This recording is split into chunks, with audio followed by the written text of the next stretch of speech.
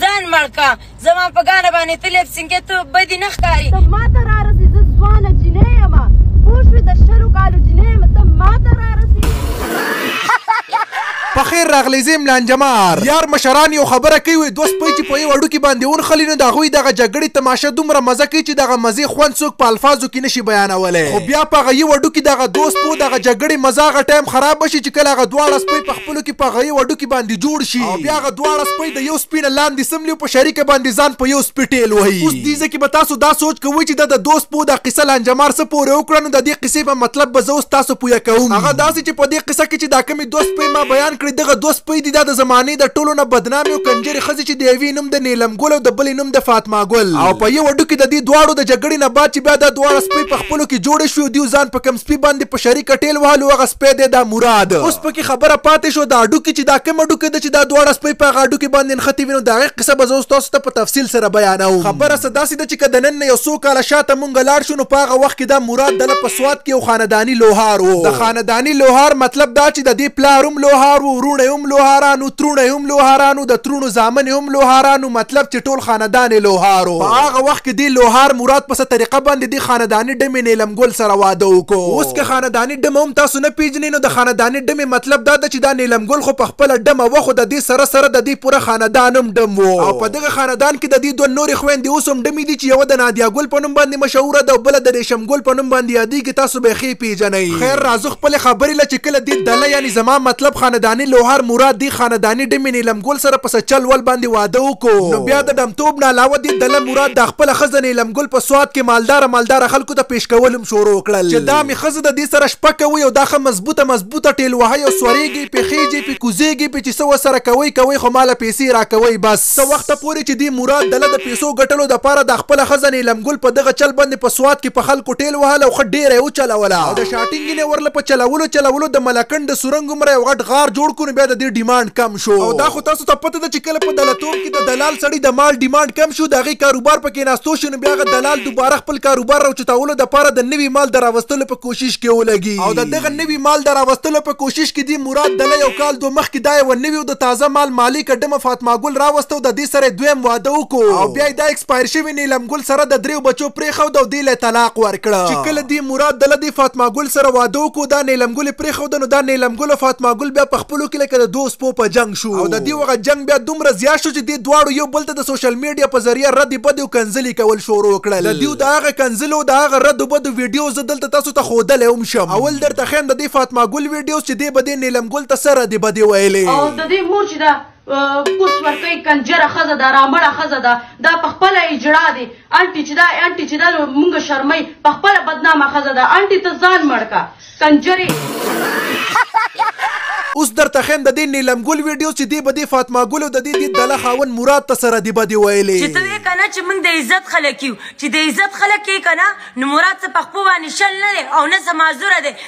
مراد دی مراد دی نرس شي او تکړه دي شي او تا دی په کور باندې کینې زه بیا له ومنم چې پښتون دی او د پښتون د ګڼه پیدا دی او تا په حیا باندې ساتي دا و د دیو یو کال مخکینۍ جګړه او هم د دغه وخت نه تر اوسه پورې دیو د یو بل دومره خلاف و چې دیو به د یو بل شو له هم نه تله چې دې مراد دله به خپلې دې ښځې سره په سوات کې سټیج شو کول او دا به خلکو ته ګډوله را ګډوله نو دې نیلم ګل به په پېښور کې شو کول او خلکو ته به ګډېده را ګډېده خپل کوناټي به یې ورته اړول را اړول دغه شان به دا دواړه دوبۍ ته هم تلې هلته به دا کنجرې مسافرو ته په سټېج باندې ګډېدي او پېسې به يې ترې راټولولې خو جدا جدا به تلې او جدا جدا شو به يې کوله ځکه چې دا دواړه خپل مينځ کې ورانې وې او د دې واغه جګړه د دې تېر شوي غټ اختره پورې چلېده بلکې تر دې پورې چې د دې تېر شوي غټ اختر نه مخکې هم ديو يو بل پسې ردې بدې ويلې وې د هغه ردو بدو ويډيوز هم ما سره شته تاسو ته يې ښيم اول وګورئ چې دې نيلم ګل ورته څه ويل ټولې مانه ناوړې چې کوم نقل زه کوم کو کپړې اچوم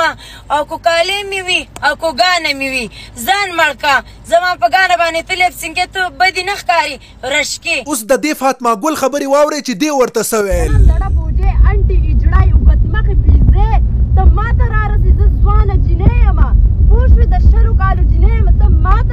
دا و د دې رنډیانو په خپل مینس کې جګړه او د دیو په دغه جګړه باندې مونږه خوشاله او ځکه چې دوه کوسه ډبې سپې په خپل مینس کې نختې وي او دا خو ما تاسو ته د ویډیو په شروع کې ویل چې کله دوه کوسه ډبې سپې په خپل کې نختې وي نو دا غوي تماشه ډیره مزه کوي خو په دې درېمه خپه ورته دړ زمونږ له راغې چې کله ددې دومره هر څه نه بعد دا نېلم ګل يو څو ورځې مخکې ددې طلاق شوي خاوند مراد سره او ددې ددغه ښځې فاطمه ګل سره بيا يو ځای شوه د کومو خلاف چې به دې ويډيوز جوړول او ردې بدې به يې ورته ويلې يعنې زما مطلب دا ده چې دې کنجرې ښځې نېلم ګل له دې مراد دله طلاق ورکړي او د هغه خپلې طلاقې شوې ښځې سره دا دله بيا يو شو ددې نه مخکې هم که تاسو ته ياد وي نو دې کنجرې نازيه اقبال له هم ددې خاوند طلاق ورکړي او باقاعده د هغه طلاقو ويډيو ديو جوړه کړې وه. نازيه اقبال ته په ما طلاق يې.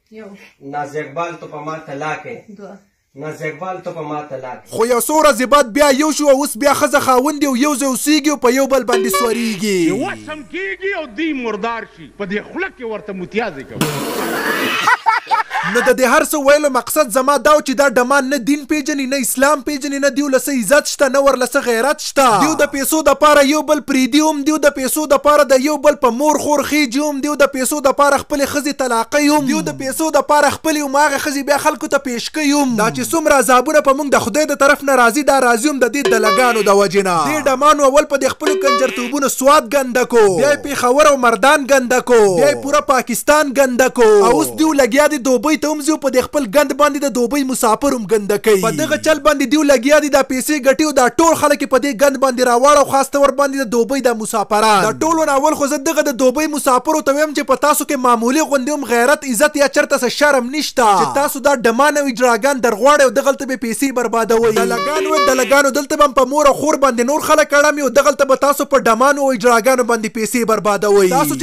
دغه چلونو له دوبۍ ته ځینو بیا دلته په پاکستان کې کونې ولې نه ورکوئ چې کم سې کم هغه مور او ښځه غریبه خو هم په دې تمه باندې نۀ کنه چې زوی او خاوند هم دوبۍ ته مزدورۍ له تللي دي او مونږ له پېسې ګټي. پته نه لګي چې تاسو دلګانو له به شرم کله راځي. او بیا دغه مسافرو ته هم زه یو پېغام ورکول غواړم دا کومو مسافرو چې د خوراکونو د لاسه غټ غټ څټونه کړي دي او پخپله د دې ډمانو خوا له نه ځي خو دغه نور دلګان مسافر هم نه مني کۀ چې تاسو دې ډمتوب له ولي ځئ خدای هم تباه او برباد کړي لکه دا برباد چې یئ په دوبۍ کې خپل د مسافرو یو داسې تنظیم روان کړئ او دغه تنظیم سول دا جوړ کړ چې دې ډمانو خوا له به يو مسافر هم نه ځي او چې کوم مسافر ديو له لاړ هغه به پنځه زره درهمه جرمانه ورکوي زه بيا ګورم چې دا دلګان څنګه دوبۍ ته ځي او څنګه هلته پيسې ګټي دا ټول چينجی د دوبۍ دې مسافرو کې دی دغه ټول مسافر دا کوم چې دې دلګانو له راځي چې سړی ونيسي په دې کونه ورله وچ لرګي ومنډي چې دا د رزيلانو اولاد بيا دې ډمانو له د تلو نوم هم په خوله نه اخلي دنيا کوم